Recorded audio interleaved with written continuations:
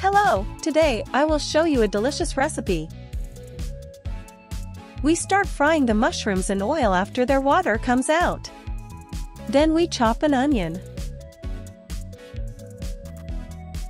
While frying the onion, we start chopping two potatoes.